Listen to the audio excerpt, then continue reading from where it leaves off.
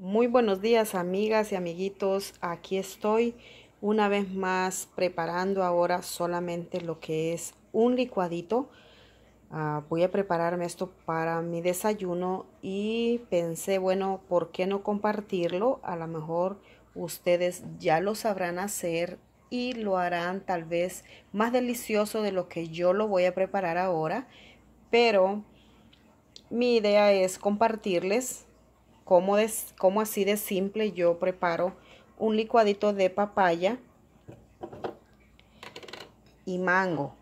Miren ese mangote, esa hermosura de mango. Esos los compré en una pulga donde supuestamente traen productos de México.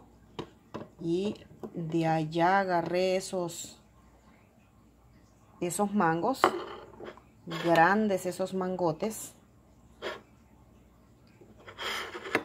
Le voy a agregar leche, no le voy a agregar azúcar.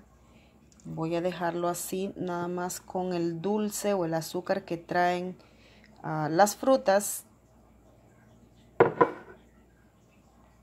Y lo voy a llevar a licuar. Y miren nada más ustedes esta delicia. Más que un licuado, parece un yogur. Miren, espesito y no necesita azúcar, la verdad. Mm. Está riquísimo. Está nada más con el azúcar, lo dulce que trae la fruta. Rico. Pueden bebérselo así, nada más. O pueden comérselo como así con la cuchara, como les mostré, como si fuera un yogur. Y pueden agregarle algún tipo de semilla seca que ustedes tengan o quieran agregarle ahí. Y miren, con esto los dejo, con esta ricura. Esto es lo que voy a desayunar. Le voy a poner ahí adentro estos pedacitos de mango que me quedaron. Miren, le puse los pedacitos de mango que quedaron. Y le agregué un poquito de la misma leche. Nada más para decorar. Y así es como se mira, así es como quedó. Rico. Ahorita me lo voy a degustar con la cucharita.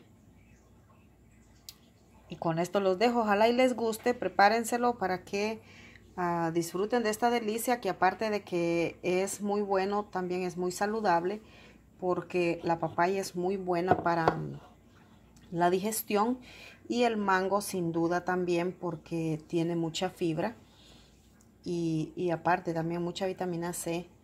Es una excelente combinación si nunca lo han probado, intenten probarlo, les va a encantar. Con esto los dejo. Bye.